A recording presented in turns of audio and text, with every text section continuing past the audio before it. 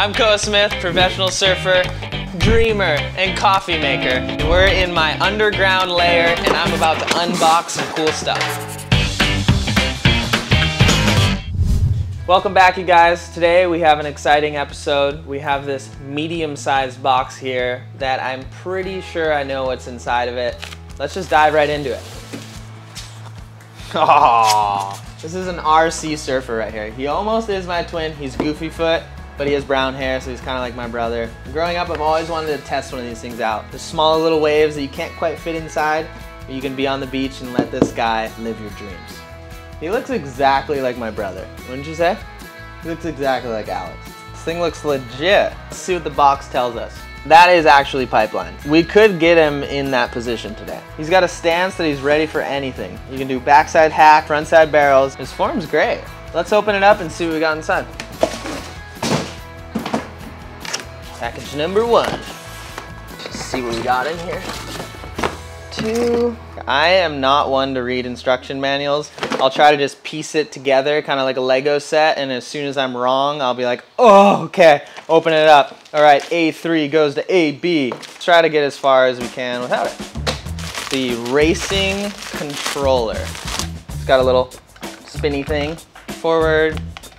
Gonna have to stand on the beach and really get to get to know him here. Throttle trim to the highest. Battery, we got batteries. Oh, ready for the reveal? Oh, how's it? Welcome to the world, my friend. Wow, look at how chill he is. You wouldn't want to snake this guy. He's got a neck brace because we will be testing his neck strength. He's got a cool uniform, I'm a little bit jealous. He looks like a superhero. Looks like he has his name on the back, RC Surfer, and his age, 1999. Wow, he's 21 years old. He's got some pukas in his feet. This is where he does his cheat codes and you just kind of uh, strap him in, maybe put some foo wax under here, make him stick. By the way, this guy needs a name. RC Surfer was his factory name. Now he's born into the surfing world. Let's give him a proper entrance. So here's this James Bond shred stick, all black. I mean, this is for, I imagine when you turn this knob here, this will turn back and forth, so. Pyzel, what do you know about this tail rudder, man? I don't have these on my boards. Let's figure out how big this board is. If I'm crouched and I'm riding like what I'd ride at Tavarua, an 8.0. Look at it, he matches his craft. See, this guy knows what he's doing. I'm excited to see what kind of engine's inside here. Let's sticker this board up. The reveal. Boom! I don't know what I'm looking at here, but looks like this is where the battery attaches. Looks like this is a cute little engine.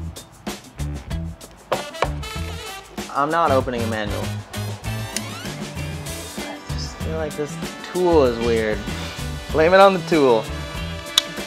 I'm not gonna lie, this is gnarly. I feel like I'm doing surgery right now.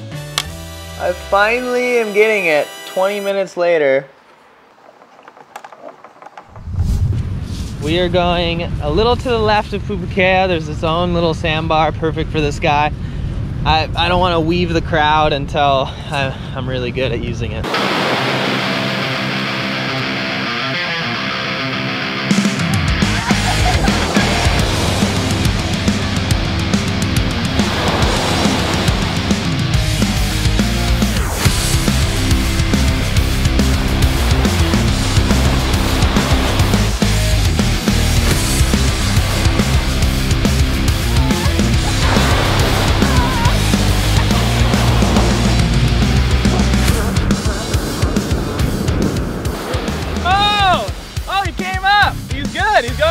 Watch this thing.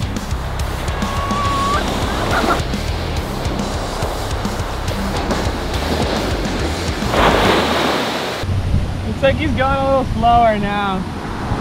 Bring him back here.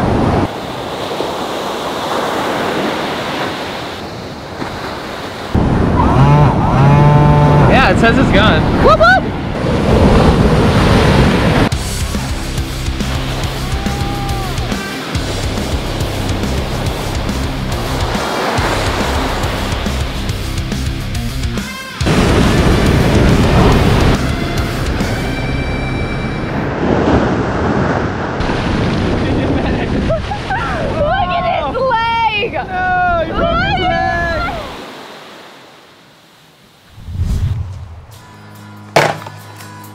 Well, you guys, it was pretty crazy out there. We put him into some tough Hawaiian conditions right off the plane, and he got one good wave to talk about, but after one wave, suffered a serious knee injury. We're talking ACL, MCL. It's gonna be radical.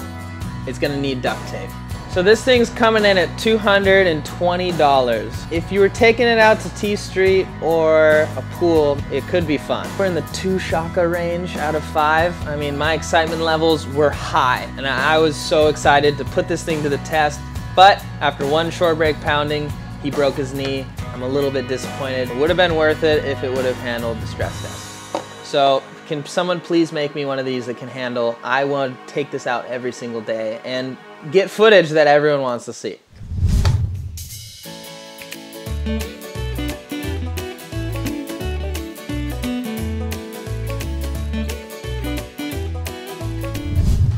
Who doesn't like to unbox things? You never really know what's inside. You have a little expectation sometimes, but it always blows your mind. Like this. I know it's a GoFoil hydrofoil, but I don't quite know how it's gonna change my life yet. I'm hoping this is the new GL series. A lot of my friends have been doing these crazy downwinders in the middle of the open ocean. No room for air. If you fall, you're paddling in 30 minutes. I haven't quite been able to keep up. Sometimes it's hard out there to connect the dots and you need that little extra edge. Is this my extra edge? Is it an extra large extra edge?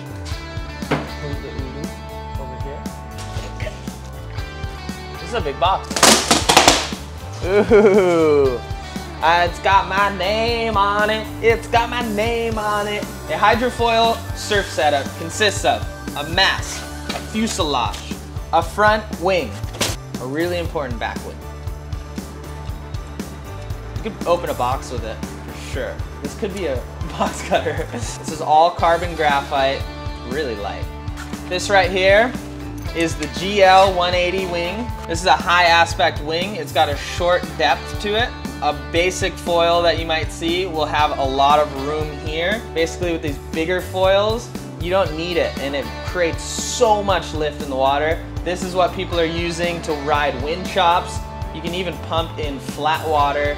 It's just crazy that like a couple years ago, we didn't even know that this existed. 30 years ago, Laird, Terry Chung, Rush Randle, those guys were pioneering foiling, but their setups were so different. They had like 10 foot steel rods that they would sharpen. About three or four years ago, Alex from GoFoil created these foils that just go on your prone surfboard and you can just surf around on it. Paddle into waves and foil the waves, where before you're strapped into snowboard boots, you need jet ski assist. I remember seeing footage of Kai Lenny doing this and I was just like mind blown what is going on clip of him at Tavarua, and I talked to him about it, and he told me he got a wave, and he was so psyched that when he kicked out, he went to like claim it, and that momentum brought him back out, and he's like, oh my gosh, I can just keep pumping. And he kept pumping, and then he connected the next wave and the next wave. It's progressed so much from there. Now we have single fin boxes we can connect our mast to, and they make wings that are so big that you can kick out of waves and just pump as far as you can in the middle of the ocean, connecting little baby wind chops and riding the entire coastline. What I'm hoping to do with this thing is paddle out to sunset, catch a little wave in the surf line. People won't even see me. I'm gonna kick out, pump out to sea, connect little wind chops, foiling into the sunset, out with the whales in the shipping lanes. And the next time you hear from me, I'll be hitchhiking back from Australia. All thanks to this little carbon wrapped blue beauty. Say that 10 times fast. Carbon wrap blue beauty. Carbon wrap blue beauty. Carbon wrap blue beauty. Carbon wrap blue beauty. Right here. Remember, this could be your leg. As soon as I finish my celery, we're gonna put this thing together. Round goes down. Round goes down. This little washer, believe it or not, if you put it in the front, creates so much lift. And if you put it in the back, it creates a little bit more dive so that you can ride bigger waves. We're gonna leave this out. So this is the sharp part. This is what can chop you in half. But fortunately, it's behind you. So you move this way. Slide this puppy on. Worked. Tail wing assembly. Assembly. I'm really learning my English in this show. This 180 wing is gonna enable me to go downwind. Then this 240 wing should let me do a dock start. We're gonna try both and see what happens here. First try, I was like, let me just test this out. Started pumping out to the middle of the ocean. First ride, I was up for over a minute, just kind of weaving around, testing her out. But my second ride was maybe like 25 minutes long. I went all the way to Waimea. It was like so crazy. But then the wind died, and then I was like, just working it, working it, and then I couldn't do it anymore. I fell. It took me 20 minutes to ride I was just out there like this flying fish flying around me. After a while, you get onto a wave and you connect it to the right, you connect it to the left, connect it back to the right. This, I didn't have to work as hard. I just did one pump and it would like go. Where the other one, I'm like, and this is just like, it's taking me there. I can kind of stand, get my breath, and then push to a new wave, recover, get my breath. I'm psyched. I want to go right now again. Let's go. We're going to Double Rainbow Bridge here in Haleiwa. I'm gonna see if I can flat water pump. Oh, this is dock start potential right here. Is it dock start or is it rock start? Koa is about to do a dock start off the Double Rainbow Bridge with his foil right now. All right, ready?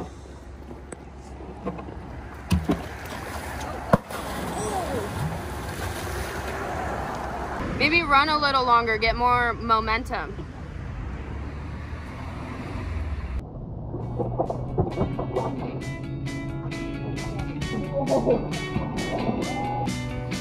Third time's charm.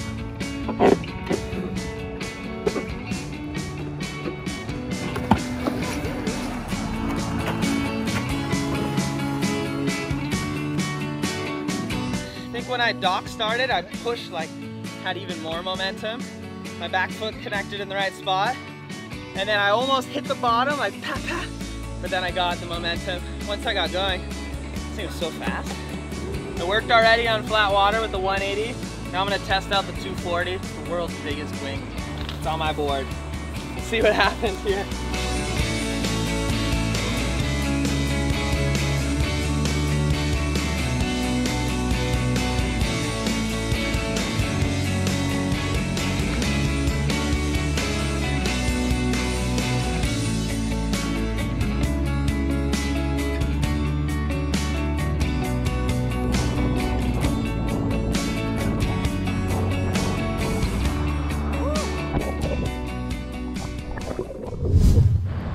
It's happening.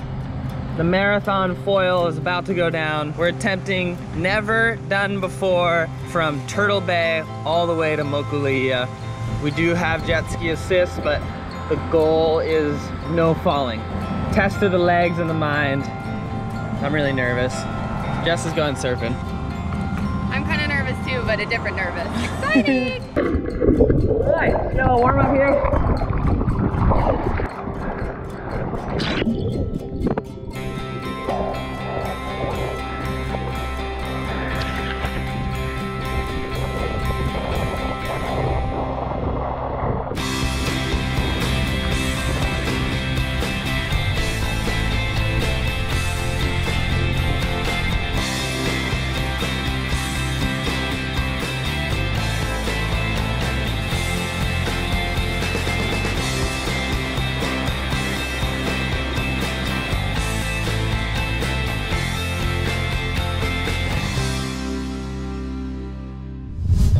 was a crazy adventure. I'm so exhausted right now. Usually I fall in the middle of the ocean and have to paddle in like 30 minutes. With this wing, it was a little forgiving, so if I made a mistake or two, I could still fly. It got me from point A to point B. My legs are burning, but I am now officially a downwinder. I'm not the best downwinder in the world. This equipment made me one of the best downwinders in the world. Some of the wind chops started at like four inches and then we were dropping into waves that were solid. The safety mechanism is going right. So we're like tacking out to sea, connecting a little wind chop that connects into a swell that make it so you can rest and recover as long as you can. Because this is so crazy on your legs. It's like a crazy leg workout. Overall, this is a no-brainer five shaka review. I mean, look at what we're doing. We're catching little wind chops and able to fly across the open ocean. Two years ago, this wasn't even happening. Such a blast just to have this wing to allow us to go out there and do that. I mean, the waves weren't even breaking today, and usually I wouldn't even surf, but now we got the foils out and it's a whole new psych. I feel like I'm learning how to surf again. I'm so stoked.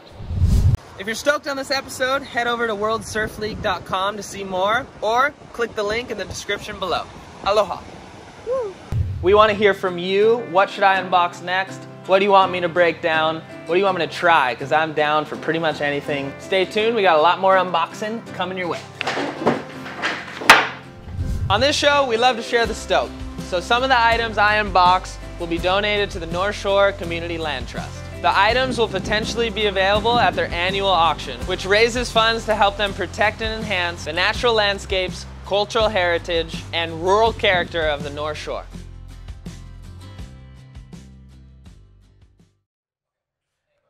Do you like that? Well, if so, subscribe over there and then watch more videos over there. And then tell us your favorite videos down there. It's a three step process. Do them all now.